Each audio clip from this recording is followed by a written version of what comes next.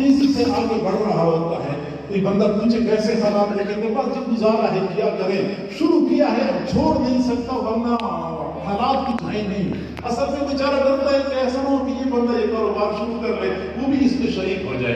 اضافہ صاحب الخیر و منوع اور فرمایا وکان الانسان عجولہ انسان بڑا جلد باز ہے۔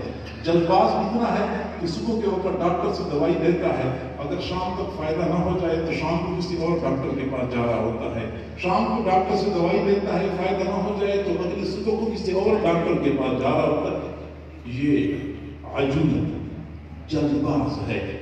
سوال یہ پیدا ہوتا ہے کہ وہ انسان جو اتنی ساری خامیوں کا، اتنے سارے عیوب کا مجموعہ ہے، آخر اس انسان کو اللہ رب العزت نے اشرف المخلوقات کیوں بنایا ہے؟ اپنی خلافت کے لیے اس کا انتخاب کیوں کیا ہے؟ اور پوری مخلوق میں اعزاز و اکرام اس کو کیوں عطا کیا ہے؟ یہ سوال پیدا ہوتا ہے۔ بعض حضرات نے کہا کہ یہ اس لیے اشرف المخلوقات ہے کہ اس کے پاس عقل ہے۔ میرے سے پہلے پروفیسر صاحب یہی فرما رہے تھے۔ لوگ کہتے ہیں کہ عقل کی وجہ سے انسان باقی مخلوق سے ممتاز ہے۔ جبکہ حقیقت یہ ہے کہ یہ اتنی معقول بات نہیں ہے۔ کیونکہ اگر انسان عقل کی وجہ سے اشرف المخلوقات ہے، تو یہ عقل تو جنات کے پاس بھی ہے، فرشتوں کے پاس بھی ہے، تو وہ اشرف المخلوقات ہونے چاہیے تھے۔ جبکہ صرف اور صرف انسان اشرف المخلوقات ہے، جنات اور فرشتے تو نہیں ہیں۔ معلوم ہوتا ہے کہ وجہ امتیاز انسانی عقل نہیں ہے۔ کسی نے کہا کہ انسان علم کی وجہ سے ممتاز اور برتر ہے۔ یہ بات بھی اتنی معقول نہیں ہے، کیونکہ اگر انسان کے پاس علم ہے، تو فرشتوں کے پاس بھی علم ہے، جنات کے پاس بھی علم ہے۔ اگر علم کی وجہ سے انسان ممتاز اور برتر ہوتا اور یہ اشرف المخلوقات ہوتا، تو پھر تو فرشتے بھی اشرف المخلوقات ہونے چاہیے تھے۔ اور جنات بھی اشرف المخلوقات ہونے چاہیے تھے، یہ وجہ معقول نہیں ہے۔ تو آخر کیا وجہ ہے؟ تو جواب دیا جاتا ہے کہ اللہ رب العزت نے انسان کو ایک ایسی خوبی عطا فرمائی ہے۔ ایک ایسا جذبہ عطا فرمایا ہے کہ جو کسی اور مخلوق کے حصے میں نہیں آیا اور اسی خوبی اور جذبے نے اس کی تمام تر خامیوں کو مستور کر کے رکھ دیا۔ اور اسی جذبے اور اسی خوبی کی وجہ سے انسان تمام مخلوق سے برتر ہے، اور وہ ہے اللہ رب العزت کی محبت کا جذبہ۔ محبت الہی کا جذبہ صرف اور صرف انسان کو دیا گیا ہے، باقی کسی مخلوق کو یہ جذبہ نہیں عطا کیا گیا۔ اور یہی وجہ ہے کہ حضرت مولانا اشرف علی تھانوی رحمۃ اللہ علیہ نے فرمایا کہ میں جس وقت طالب علم تھا، تو اس وقت ہم پڑھتے تھے کہ انسان کی تعریف کیا ہے، حیوان ناطق ہے۔ تو میں اس وقت اعتراض کرتا تھا یا سوال کرتا تھا کہ یہ تعریف جامع مانع نہیں ہے، کیونکہ اگر انسان ناطق ہے تو فرشتی بھی تو ناطق ہے ناطق کا معنی مدرک الکلیات تو فرشتے بھی تو ناطق ہیں، جنات بھی ناطق ہیں۔ تو صرف انسان کے لیے حیوان ناطق کیسے بولا جاتا ہے؟ یہ حد تام نہیں ہے، یہ تعریف جامع مانع نہیں ہے۔ تو فرماتے ہیں، میں خود اس وقت انتہا کرتا تھا کہ انسان کے لیے جامع مانع تعریف، جس کو ہم حد تام کہہ سکتے ہیں، وہ ہے حیوان عاشق۔ حیوان عاشق۔ عشق و محبت وہ امتیازی وصف ہے جو صرف اور صرف انسان کو عطا کیا گیا ہے۔ انسان کے علاوہ کسی اور مخلوق میں یہ وصف نہیں پایا جاتا۔ اور پھر حضرت خانوی رحمت اللہ علیہ فرماتے ہیں کہ آپ لوگ دیکھتے نہیں ہیں کہ شیطان، ابلیس جو فرشتوں کی جماعت میں تھا، شیطان میں تین عین پائے جاتے تھے۔ اور چوتھا عین موجود نہیں تھا، اس لیے وہ ذلیل ہو گیا، راندہ درگاہ ہو گیا۔ شیطان عابد تھا۔ اس نے زمین کے چپے چپے پہ سجدے کیے تھے۔ شیطان عارف تھا۔ اتنی معرفت اس کو حاصل تھی کہ جب اللہ رب العزت نے فرمایا فخر منہا فإنك رجیم۔ نکل جا تو مردود ہے نافرمان ہے شیطان اس وقت اللہ کے دربار سے نکل رہا تھا، لیکن اس کو اللہ کی معرفت حاصل تھی۔ وہ سمجھ رہا تھا کہ اس جلال کے عالم میں بھی اللہ تعالیٰ کسی کی مانگی ہوئی دعا کو رد نہیں کرتا۔ اس لیے اسی وقت اس نے دعا مانگی، رب انزلنی الى یوم یبعثون۔ یہ معرفت کا حامل تھا، یہ عارف تھا، یہ عابد تھا، یہ عالم تھا۔ تین عین موجود ہیں، عالم، عابد اور عارف۔ اور حضرت فرماتے ہیں کہ بس ایک عین کی کمی تھی کہ وہ عاشق نہیں تھا۔ اگر وہ عاشق ہوتا تو وہ کبھی یہ نہ کہتا کہ انا خیر من ہو انا خیر من ہو کیونکہ عشق و محبت سب سے پہلے بندی کے میں کو مٹا دیتی ہے۔ اس کی جو میں موجود تھی، اس بات کی دلیل ہے کہ وہ عاشق نہیں تھی جنات بھی اللہ کی عبادت کرتے ہیں، اللہ کے خوف سے کرتے ہیں۔ فرشتے بھی اللہ کی عبادت کرتے ہیں، اللہ کے خوف سے کرتے ہیں۔ ہاں انسان واحد مخلوق ہے، جس کو اللہ تعالیٰ نے اپنی محبت کے جذبے سے سرشار فرمایا ہے۔ نہ صرف ایک یہ امتیاز انسان کا امتیازی وصف ہے، بلکہ ایک مومن کے ایمان کا تقاضا بھی ہے۔ ایک مومن کی ایمان کا تقاضا بھی ہے۔ والذین آمنوا اشد حبا للہ۔ ایمان والوں کو اللہ سے شدید محبت ہوتی ہے۔ ان کے دلوں میں اللہ رب العزت کی محبت سمائی ہوئی ہوتی ہے، بلکہ ان کے دلوں پر اللہ تعالیٰ کی محبت چھائی ہوئی ہوتی ہے۔ اور جب یہ محبت دل میں آتی ہے، تو بندے کو ایمان کی حلاوت نصیب ہو جاتی ہے۔ بخاری شریف میں میرے طالب علم بھائی نے پڑھا ہوگا۔ حضور صلی اللہ علیہ وسلم نے فرمایا، ثلاث من کن ہے، وجد بہن حلاوت الایمان۔ تین خصلتیں جس بندے میں پائی جائیں، وہ بندہ ایمان کی حلاوت اور مٹھاس کو محسوس کر لے گا۔ جس طرح گڑ میٹھا ہوتا ہے، چینی میٹھی ہوتی ہے، اسی طرح ایمان بھی میٹھا ہوتا ہے۔ لیکن جس طرح گڑ کی مٹھاس ہر بندہ محسوس نہیں کر سکتا اسی طرح ایمان کی حلاوت بھی ہر بندہ محسوس نہیں کر سکتا۔ اب آپ سوچ رہے ہوں گے کہ گڑ کی مٹھاس تو ہر بندہ محسوس کرتا ہے۔ میں کہتا ہوں نہیں کئی مرتبہ بندے کو بخار ہو جاتا ہے، طبیعت پہ صفرا کا غلبہ ہوتا ہے، بندے کے منہ کا ذائقہ کڑوا ہوتا ہے، وہ میٹھا گڑ کھاتا ہے۔ میٹھا گڑ بھی اس کو کڑوا محسوس ہوتا ہے۔ تو گڑ کی مٹھاس ہر بندہ محسوس نہیں کر سکتا۔ ایسی ہی ایمان کی مٹھاس کا بندہ محسوس نہیں کر سکتا۔ ہم نے اگر ایمان کی حلاوت پوچھنی ہے معلوم کرنی ہے تو آج سے چودہ صدیاں پیچھے جانا پڑے گا۔ حضرت بلال سے پوچھنا ہوگا، بلال، کیا وجہ تھی؟ مکہ کے سالے آپ کے گلے میں رسی ڈال کے آپ کو چٹانوں پر گھسیٹا کرتے تھے، سینے پر بڑے بڑے پتھر رکھا کرتے تھے، گرم تپتی ہوئی ریت پر لٹایا کرتے تھے۔ پھر بھی آپ کی زبان سے احد احد کا نعرہ بلند ہوتا تھا، وہ جواب دے کہ جی ہاں مجھے اس وقت مزہ آ رہا ہوتا تھا۔ حضرت سمیہ سے پوچھنا پڑے گا، سمیہ، عورت ذات تو بہت پست ہمت ہوتی ہے، جب بھی موقف چھوڑ جاتی ہے، آخر کیا وجہ تھی؟ مکہ کے سامنے آپ کو مار مار کے تھک جاتے تھے، پھر بھی آپ ایک انچ کے لیے موقف سے پیچھے نہیں ہٹی۔ وہ جواب دیں کہ جی ہاں مجھے اس وقت مزہ آ رہا ہوتا تھا۔ ایمان کی حلاوت جس بندے کو نصیب ہو جاتی ہے، اس کی کارنامے ایسے ہوتے ہیں کہ دنیا کی عقول حیران رہ جاتی ہے ایمان کی حلاوت بندے کو مل جائے تو بندہ عبادت کرتے ہوئے تھکتا نہیں ہے۔ ہمارے لیے تو پانچ نمازیں پڑھنا مشکل ہے۔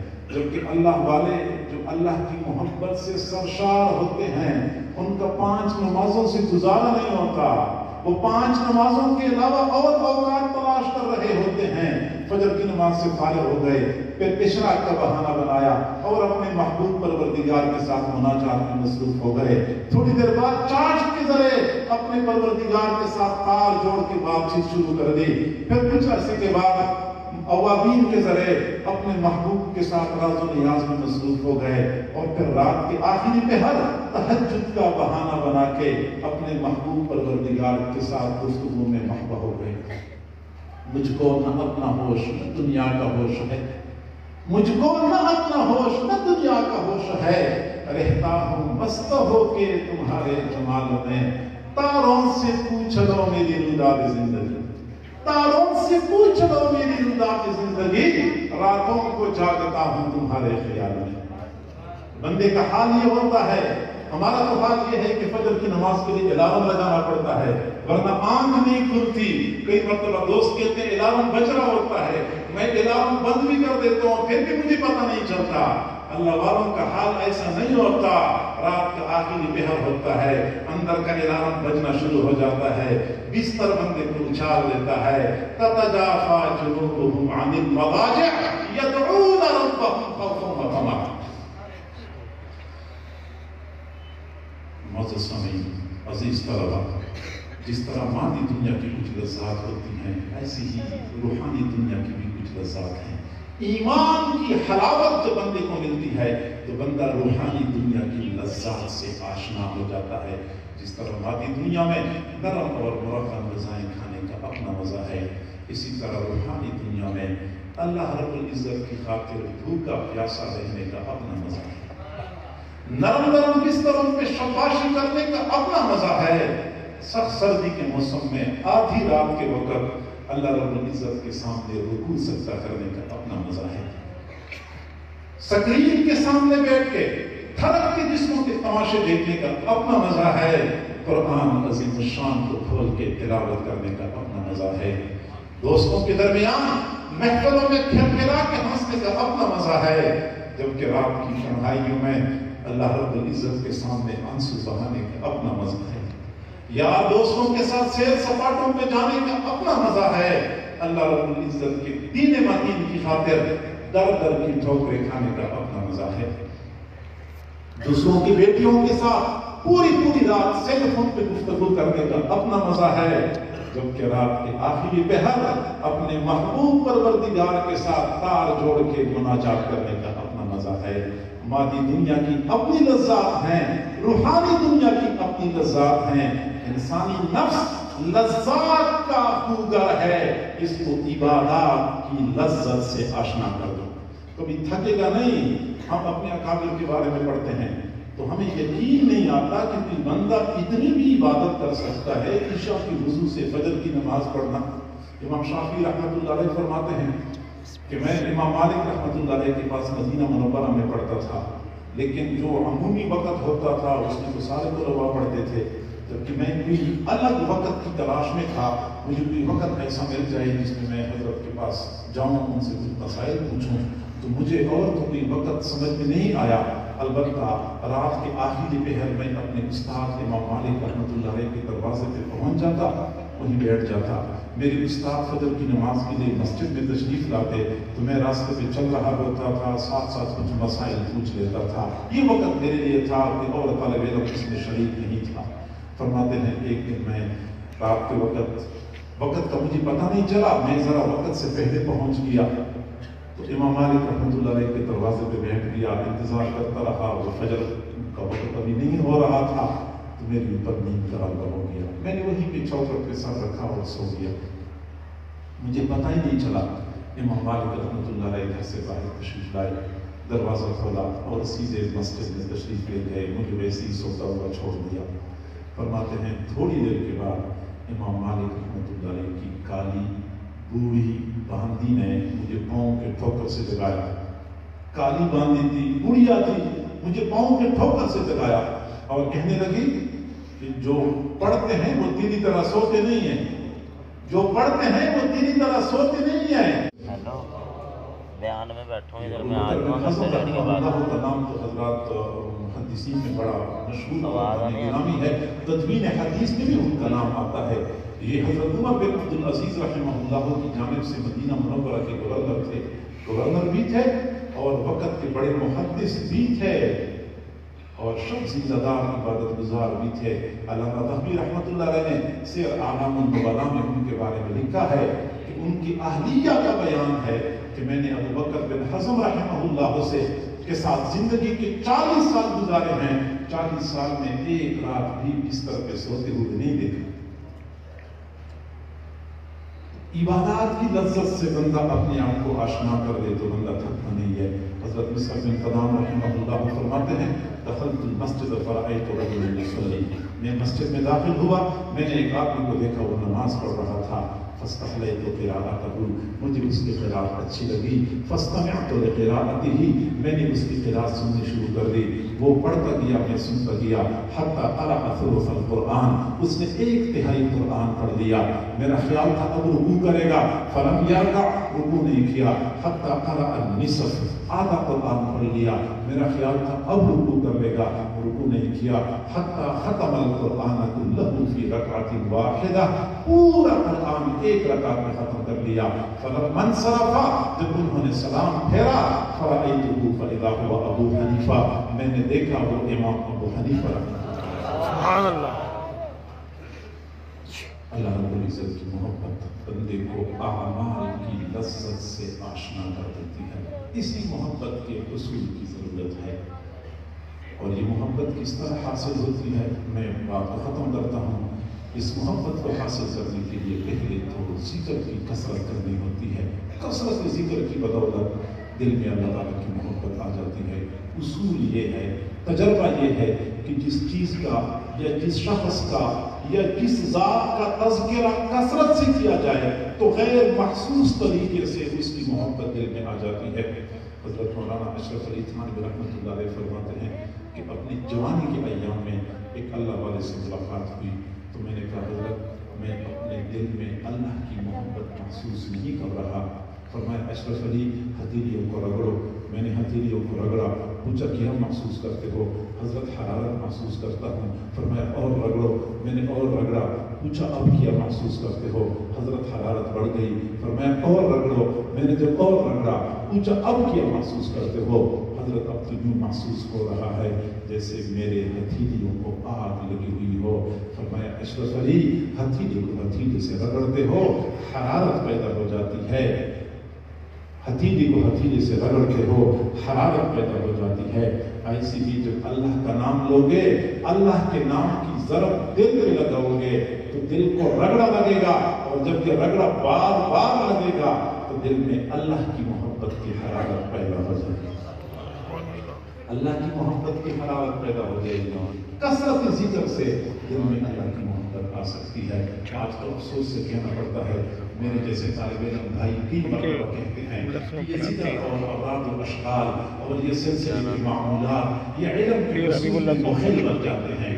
لہذا جو طالب علم زیادہ مراد بھی شروع کر دیتا ہے زیادہ ذکر اذکار اذکار کرتا ہے۔ باقی تو لوگ تانا دیتے یہ صوفی بن گیا ہے۔ تو یا کہ صوفی بن گیا تو اس کی علم کے دروازے بند ہو چکے ہیں۔ نہیں میرے بھائیوں آپ حضرات ویسے بھی اس ماحول سے واقف ہیں ذکر کی اہمیت اور تصوف کی اہمیت سے واقف ہیں۔ میں دوسرے کی بات عرض کر رہا ہوں کہ بات ہرگز ایسی بات نہیں ہے۔ ذکر کی وجہ سے علم کو جنا نہیں ہے۔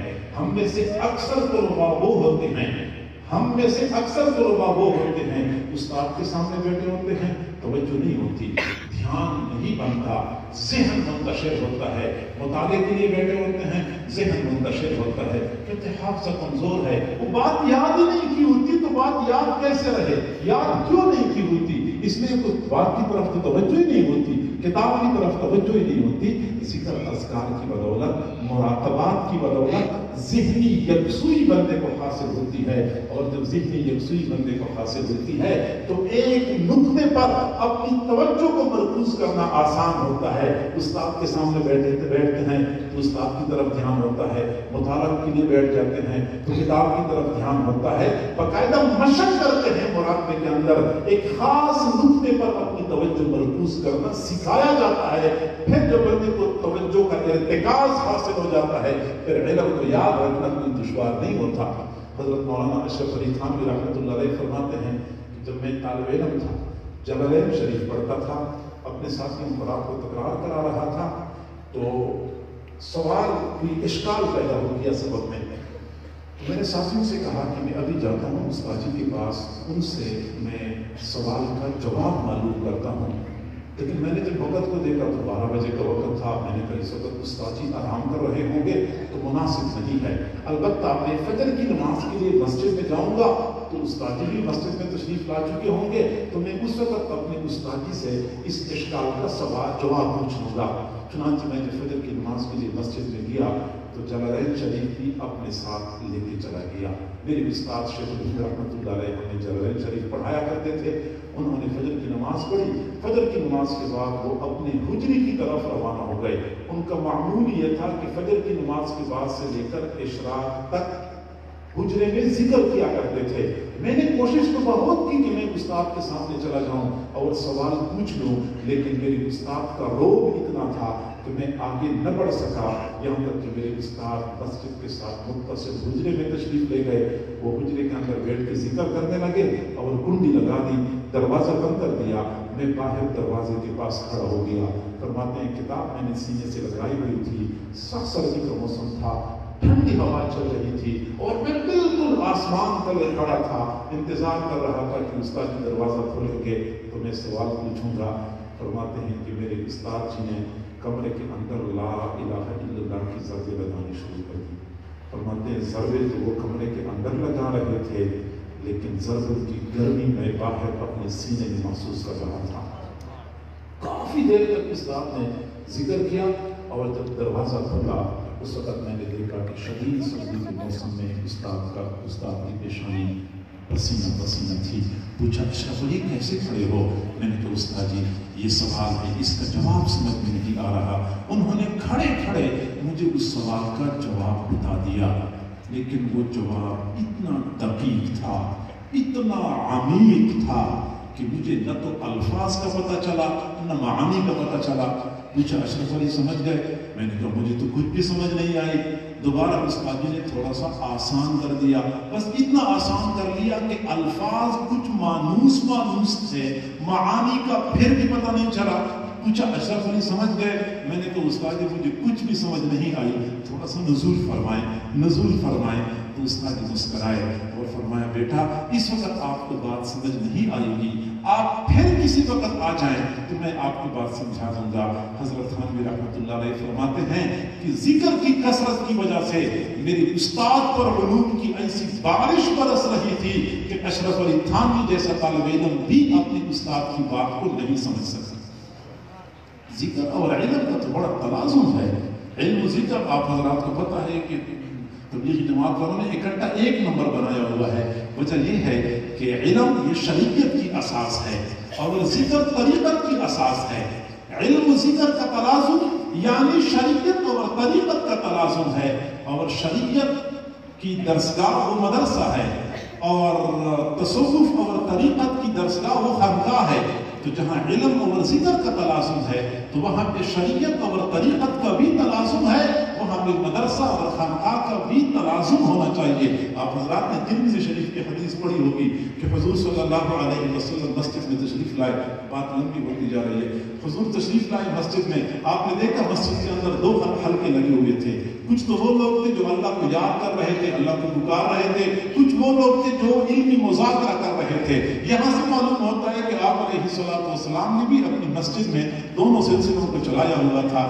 علم کا سلسلہ بھی چل رہا ہوتا تھا اور ذکر کا سلسلہ بھی چل رہا ہوتا تھا۔ گویا کہ یہ علم اور ذکر دونوں سلسلے یہ مسجد نبوی سے چلے ہیں۔ ان کی جڑیں اور ان کی اساس یہ مسجد نبوی میں موجود ہے میں بات یہ عرض کر رہا تھا کہ ذکر کی کثرت بندے کو اللہ کی محبت سے آشنا کر دیتی ہے اور دوسرا، اس ہوئی زمین پر کچھ ایسے حضرات موجود آگ میں جاتے تھے، اپنے چولہے میں منتقل کیا کرتے تھے۔ تو جس طرح ایک گھر سے دوسرے گھر میں آگ لے جایا کرتے تھے، اسی طرح ایک سینے سے دوسرے سینے میں محبت منتقل ہوتی ہے، جو آگ کی خاصیت وہ عشق کی خاصیت۔ جو آگ کی خاصیت وہ عشق کی خاصیت، ایک خانہ بخانہ ہے، ایک سینہ بسینہ ہے۔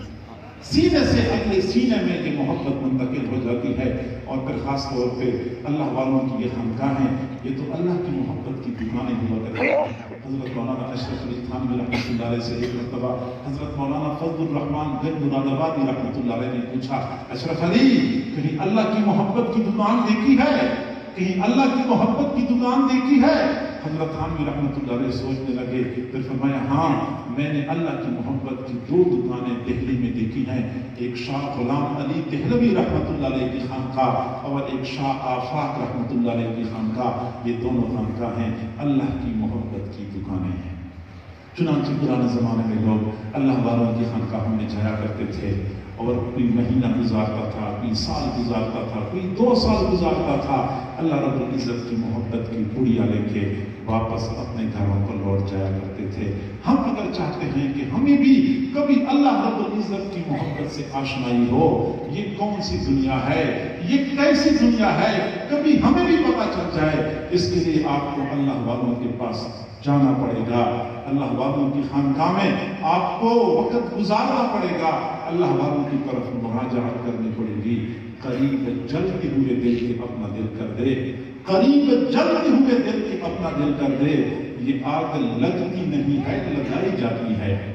جو جلنے والے دل ہوتے ہیں، ان کے ساتھ اپنے دلوں کو جوڑیں گے تو خود بخود یہ آگ منتقل ہو جائے گی۔ الحمدللہ، آپ کا یہ ادارہ، یہ فقط ایک درسگاہ نہیں ہے۔ یہ فقط ایک تعلیمی ادارہ نہیں ہے۔ بلکہ اللہ رب العزت کی محبت کی شراب پلانے والا ایک شراب خانہ بھی ہے۔ یہاں پہ اگر طلباء علوم شریعت حاصل کرنے کے لیے جوک در جوک آتے ہیں، تو طالبین طریقت شراب محبت پینے کے لیے بھی یہاں پہ ڈیرے ڈالتے رہتے ہیں، یہاں پہ آتے رہتے ہیں۔ میں تو یہی دعا کروں گا کہ اللہ تعالیٰ اس مرکز اور اس جامعہ کے فیض کو تا صبح قیامت جاری و ساری فرمائے۔ اور اس کے تمام تر شرور فتن سے معمول و محفوظ فرمائے میرے ساتھی کو میں خنا رہے وقت پلائے جاتے ہیں۔ میرے ساتھی کا میں خانہ رہے خدا آباد یہاں پہ جامع محبت پلائے جاتے ہیں۔ یہ وہ چمن ہے جہاں قائران بے پروبار بسوی عرش و یکدم اڑائے جاتے ہیں۔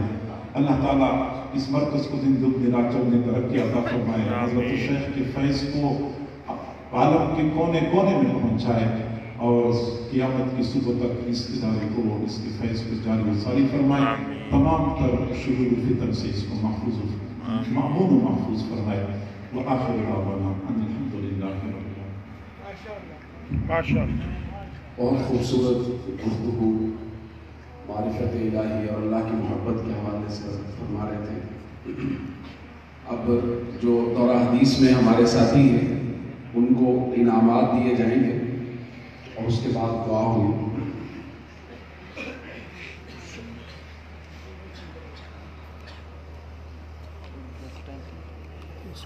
مولوی محمد محمد اوپر لگا دو۔ مولوی محمد رضوان اجمل صاحب شہر سلطان۔ مولوی محمد بلال رشید بن رشید احمد۔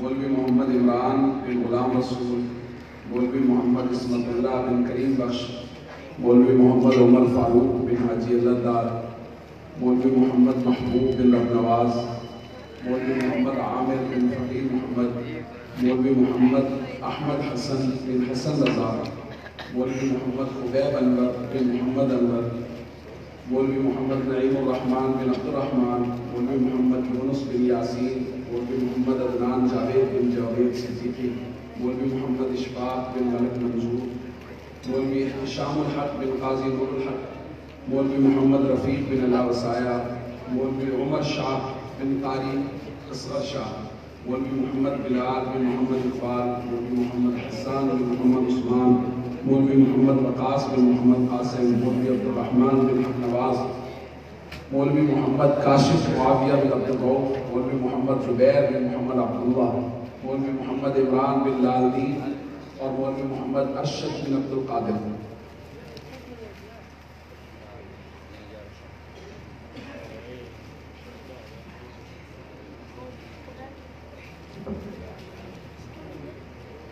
آخر میں ایک بار پھر میں آپ تمام معزز مہمانوں ممنون ہوں کہ آپ حضرات ہماری دعوت پر تشریف لائے۔ ابھی انشاءاللہ اختتامی دعا ہوگی، اس کے بعد آپ حضرات اپنے گھروں کو تشریف لے جائیں گے۔ اللہ رب العزت آپ کو آپ کے گھروں میں خیریت سے پہنچائے۔ گا یہ جنریٹر والوں کو اطلاع بھیج دیں کہ پروگرام ختم ہونے کے ایک گھنٹے بعد تک جنریٹر چلتا رہے، تاکہ ہمارے مہمانوں کو تنگی نہ ہو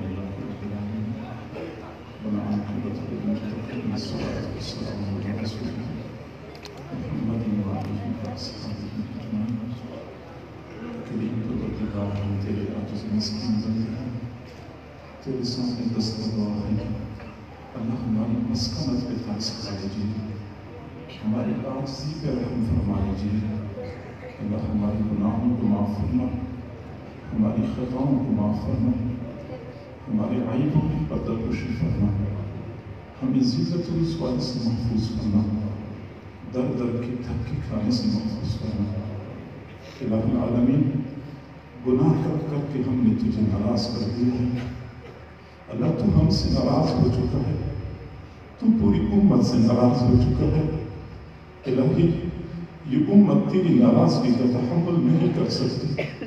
پیارے اللہ راضی ہو جائیے؟ الہی ہم معافی مانگتے ہیں، منانا چاہتے ہیں۔ اللہ مان جائیے، کریم اللہ مان جائیے۔ مزید اللہ ناراضگی ختم کر دیجیے۔ پیارے پروردگار بس کر دیجیے۔ ناراضگی ختم کر دیجیے۔ امت سے راضی ہو جا۔ امت کے حال پہ رحم فرما کہ کریم اللہ اندھی دی رات کا وقت ہے۔ دنیا کے بادشاہوں نے اپنے دروازے بند کر رکھے ہیں۔ تیرا در اب بھی کھلا ہے۔ تیرے جب فقیر بندے تجھے منانے کے لیے جمع ہو چکے ہیں۔ پیارے اللہ، ہم سب سے راضی ہو جا۔ اللہ ہماری خطاؤں کو معاف فرما۔ الہ العالمین، دنیا کے نیک لوگ اپنی دعاؤں کی قبولیت کے لیے نیک اعمال کا وسیلہ پیش کرتے ہیں۔ ہمیں تو اپنی جھولیوں میں گناہوں کے سوا کچھ بھی نظر نہیں آتا۔ اللہ ہم اپنی بے کسی اور بے چارگی پیش کرتے ہیں۔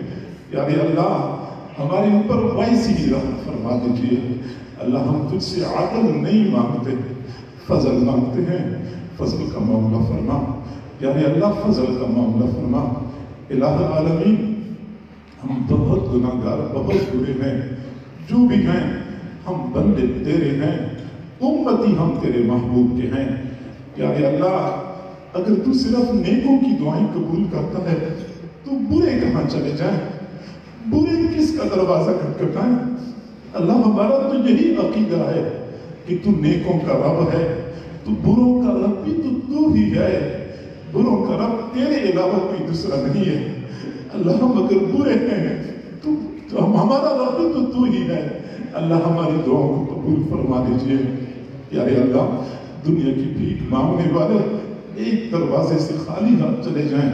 ان پر تو کوئی حسرت نہیں وہ اگلے دروازے سے چلے جائیں گے۔ مسئلہ تو ہمارا ہے۔ ہمارے سامنے تیرے در کے سوا کوئی دوسرا در نہیں۔ ہم جائیں تو کہاں جائیں؟ مانگے تو کس سے مانگے؟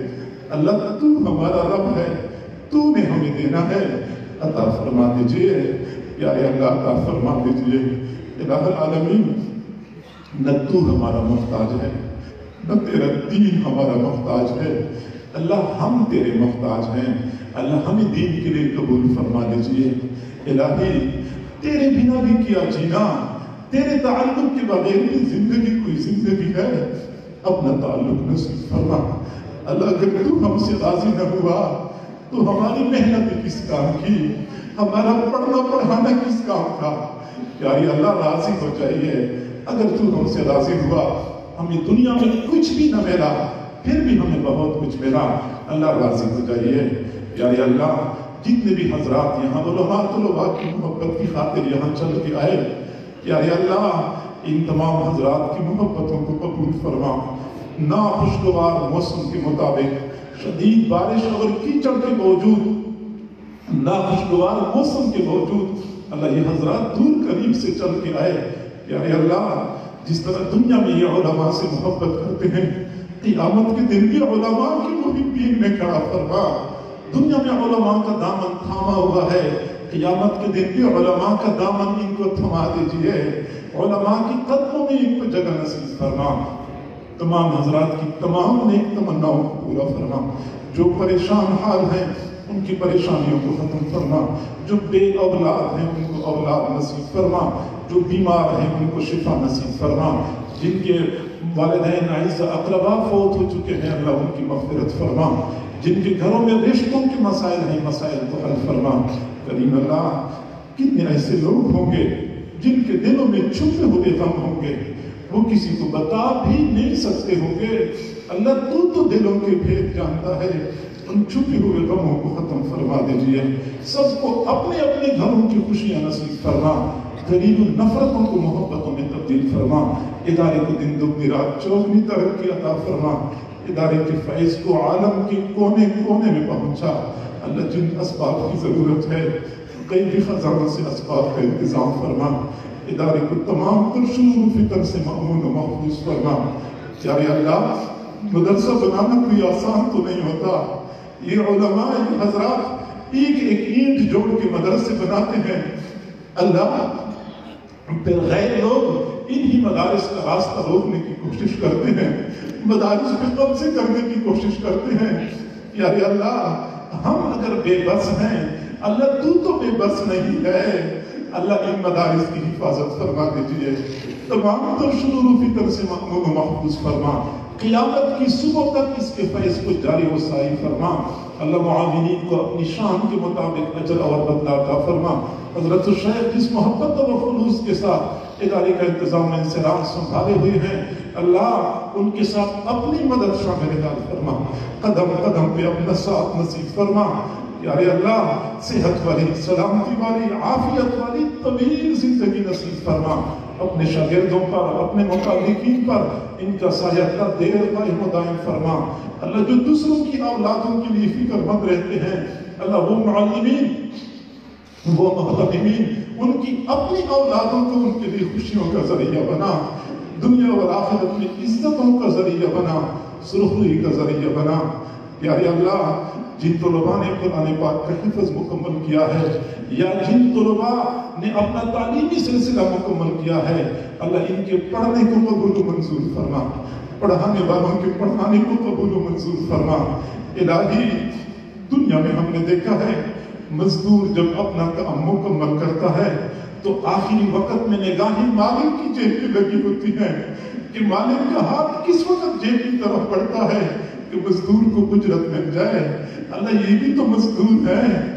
انہوں نے بھی آٹھ سال، دس سال، گیارہ سال مزدوری کی ہے۔ اپنا کام مکمل کیا ہے۔ اب اجرت دینے کا وقت ہے۔ الہی، نگاہیں تیری خزانوں پہ لگی ہوئی ہیں۔ اللہ خزانوں کے دروازے کھول دیجیے۔ خالی جھولیاں بھر دیجیے۔ اٹھے ہوئے ہاتھوں کی لاج رکھ دیجیے۔ پیارے اللہ، دنیا میں اچھے مالکوں کو دیکھا ہے۔ مزدور کام خراب بھی کر دیتا ہے، پھر بھی مزدور کو اجرت دے دیتے ہیں۔ کوئی بات نہیں ہے، مزدور غریب بنتا ہے۔ اگرچہ اس نے کام خراب کیا ہے، لیکن اجرت دی جاتی ہے۔ پیارے اللہ، اگر کوئی کمی کوتاہی ہو چکی ہے، تو کمی کوتاہی کو معاف کر دیجیے۔ کمی کوتاہیوں کے باوجود ان کو اجر عطا فرما دیجیے۔ اللہ ان عزیز طلباء اور علماء کو اپنے مقربین میں شامل فرما۔ اپنے والدین کے لیے اپنے اساتذہ کے لیے، اپنے ادارے کے لیے نیک نامی کا ذریعہ بنا، بدنامی کا ذریعہ نہ بنا۔ الہی، ہم جتنے بھی ہیں، سارے موقع خطر میں ہیں۔ اللہ ہمیں اپنے بڑوں کے دامن پہ دبا نہ بنا۔ بڑوں کی نیک نامی کا ذریعہ بنا، بدنامی کا ذریعہ نہ بنا۔ اور قیامت کے دن ہمیں اپنے بڑوں کے سامنے سلوک فرما، ان کے سامنے شرمندہ نہ فرما۔ بڑوں نے جو بوجھ کندھوں پہ ڈالا ہے اس بوجھ کو اٹھانے کی توفیق عطا فرما اور آگے نسلوں کو منتقل کرنے کی توفیق عطا فرما۔ یہ عزیز طلباء، اور یہ نئے فضلا اللہ ان کی کندھوں پہ بڑا بوجھ آیا ہے۔ اللہ استادوں نے اپنے سینے کی امانت ان کے سینے میں منتقل کی ہے۔ اللہ اس امانت کی حفاظت کی توفیق عطا فرما۔ اور اگلی نسلوں تک اس کو پہنچانے کے لیے قبول و منظور فرما۔ دین کی خدمت کے لیے قبول فرما۔ پیارے اللہ، ہم قابلیت کا دعوت نہیں کرتے۔ قبولیت کے طلبگار ہیں۔ قبولیت نصیب فرما دیجیے۔ قبولیت نصیب فرما دیجیے۔ الہی، ان فضلاء اور ان حفاظ کے والدین کو بھی اپنی شان کے مطابق اجر اور بدلاتا فرما۔ اللہ، وہ بوڑھا باپ جو پورا دن محنت مزدوری کرتا ہے۔